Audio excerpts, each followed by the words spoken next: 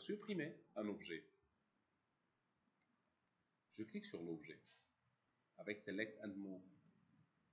Je clique et on clique sur Sup bien Supprimer. Bien. L'étape suivante consiste à créer plusieurs objets et les modifier en même temps. Pour cette raison, pour cliquer, pardon, pour euh, créer un box, on clique, on glisse et on monte vers le haut, on descend vers le bas. Ça, on le savait. Par contre, si je veux créer un box sur mesure, je clique sur box cette fois et je cherche Cable Entry. Cable Entry, il y a X, Y, Z comme coordonnées. Par contre, ce que je veux faire, c'est insérer des valeurs. Par exemple, ici, 20, 20 et 20. Attendez. Je vais insérer 20 sur 20 et 20. C'est juste une petite valeur standard. Par la suite, on va cliquer sur Create. Quand vous voyez, je pense que vous avez remarqué qu'on a créé un box parfait de 20 cm partout. Bien. On répète. Une deuxième technique pour supprimer n'importe où dans le plan de travail, je vais insérer un rectangle de sélection et je supprime. Ok Bien. Une deuxième technique pour insérer les objets. Juste pour l'information, vous êtes normalement euh, censé de cliquer sur plus d'abord. C'est create. Par la suite, vous cliquez sur la géométrie pour être sûr que vous êtes dans les formes géométriques de base. Et vous cliquez sur les objets pour les dessiner. Par exemple, la troisième de choses la plus importante, c'est comment modifier un objet. Soit disant que on a sélectionné un objet comme celui-là. Par la suite, je veux modifier les valeurs de mon objet. Attention, dans ce cas, vous êtes censé être dans l'autre rubrique qui s'appelle Modify, non pas Create. C'est Modify. Attention, les attentions, c'est pas Create, c'est Modify. Si vous observez que dans Modify, la liste est grisée au vide, c'est-à-dire il faut sélectionner l'objet. L'objet, par défaut, il contient une taille. Donc on peut à n'importe quel moment la modifier. Allons-y, cette fois on va utiliser une valeur de 100 sur 100 sur 100. Bien. Ce sont que des valeurs. Entre-temps, on peut changer les valeurs comme on veut.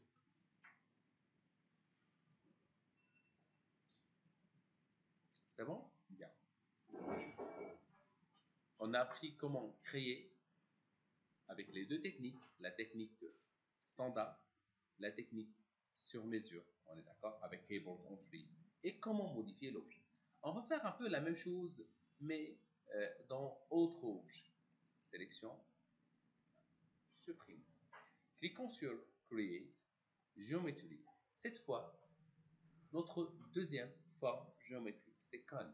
Si vous voyez, on a notre surface. Une fois je monte vers le haut, ça me donne bien sûr cette forme. Attention, normalement, elle est nommée Con. Ça doit nous donner une forme de, de cône. Dans ce cas, je clique une deuxième fois et je vais bien essayer de changer la direction de la souris vers le haut ou vers le bas pour obtenir une taille qui est différente. La même chose, sphère, c'est juste un clic et glisse simple. Géosphère, c'est la même chose que sphère, sauf que la composition, c'est se forme des triangles, on est d'accord. Par contre, ici, c'est quadrant. Cylindre, la première fois, et je monte. Et la deuxième fois. Tube, la même chose, première fois, deuxième fois, et troisième fois. Torus, 1, 2. Pyramide, 1 et 2. Plane, 1.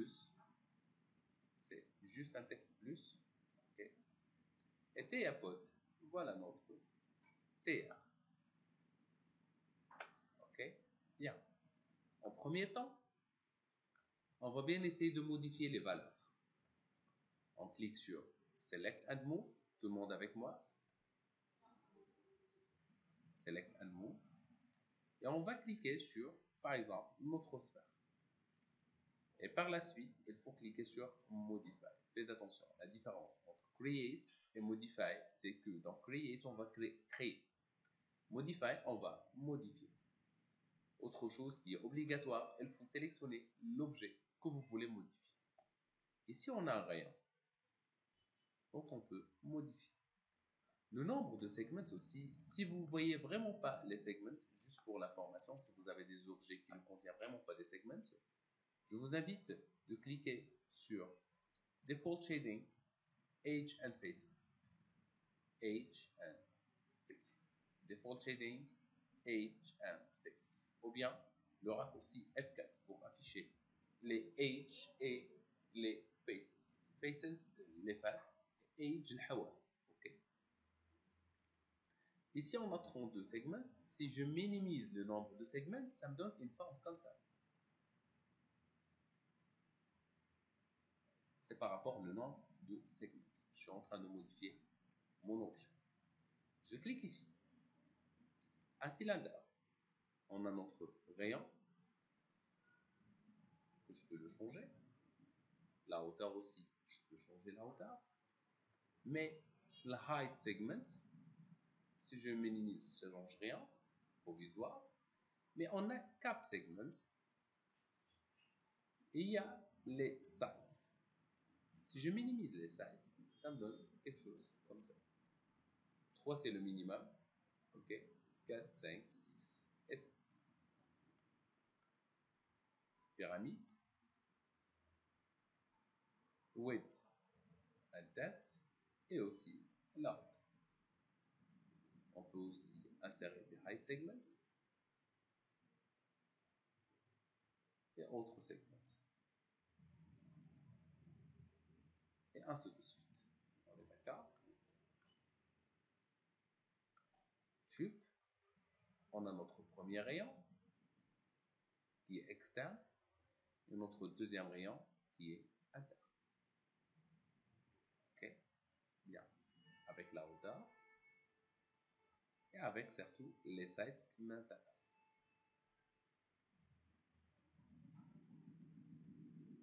Bien. C'est bon. Donc, on a appris comment insérer, comment déplacer, comment modifier. Ok? Bien. Si vous me dites, monsieur, c'est tout ce qu'on a, oui, c'est un peu ça. Texte plus. Vous pouvez cliquer sur texte plus, changer le texte. Ok?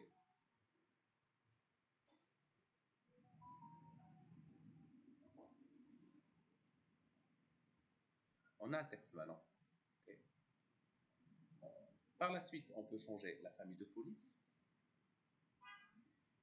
Et par la suite, on va changer le type, ce qu'il est pas pour italique. Et par la suite aussi, on a la taille. Et par la suite, on a euh, surtout le type de l'extrude qui ne peut insérer d'insérer un texte.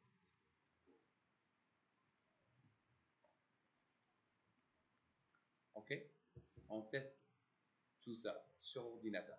Mais avant, le fait de passer directement vers l'ordinateur, une fois on a terminé la création de nos objets, la modification des objets, je clique sur File, Reset, with without saving je veux vider ma scène sans fermer le programme une deuxième fois. Soit disant que, à l'aide des formes géométriques, peut-être que vous allez me dire, monsieur, vraiment, il n'y en a pas beaucoup. Comment on va créer des chaises, comment on va créer des, tables, comment on va modéliser des villas et tout ça, avec les détails des détails. Ne t'inquiète surtout pas. Parce que, par exemple, si je vous donne juste un petit exemple, avec un box, si on clique sur Keyboard Entry, la deuxième technique, je vais insérer 120 sur 60 ou 80 et la hauteur de 3 cm. Je clique sur Create. Ici, on a une forme d'une petite table. Default Shading, on est en mode Default Shading. Je clique sur Edge and Faces comme on a vu. OK Je clique sur Modify. Je bascule vers Modify parce que j'ai créé et je compte vraiment à modifier, de modifier. On a ici 120 et on a ici 80. OK? Soit disant si je prends la valeur qui est 120 et je vais la diviser sur un certain nombre selon le besoin, soit disant 10. Lorsqu'on dit 120 divisé par 10, ça nous donne bien sûr 12, de là à là. On est d'accord? Et on a 80 de ce sens, ou dans l'autre sens. Si j'insère bien sûr des segments de, de 10, soi-disant, c'est-à-dire qu'on a une géométrie ici de 12 sur 10. Une fois on termine, pardon, bouton droit, Convert to Editable Pool. C'est quoi ça? Tout simplement, une fois on termine la modélisation basique, il faut chercher d'autres modificateurs. Et comme vous voyez, on n'a plus le droit de modifier notre objet. Ce n'est plus un objet primitif, ce n'est plus un box. Ok? C'est autre chose. C'est une forme qui contient des points. Je clique sur Select and. Des points. CTRL Z. Des traits. Border, ce n'est pas, pas le cas parce qu'il faut éviter son endroit. Et polygone. Supposons que on prend par exemple la première forme en maintenant la touche CTRL pour faire une sélection multiple. On va extruder avec une valeur de 70 par exemple. Et voilà notre premier objet modélisé sur 3